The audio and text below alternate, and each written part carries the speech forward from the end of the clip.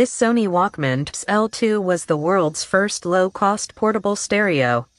It first went on sale in 1979 for $150, which is $586 in today's money.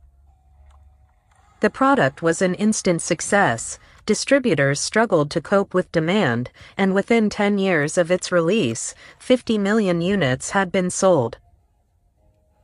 It played a big role in the 2017 feature film Guardians of the Galaxy Volume 2.